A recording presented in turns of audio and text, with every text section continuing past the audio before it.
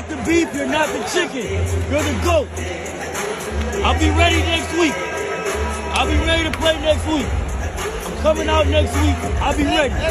Yes, next week.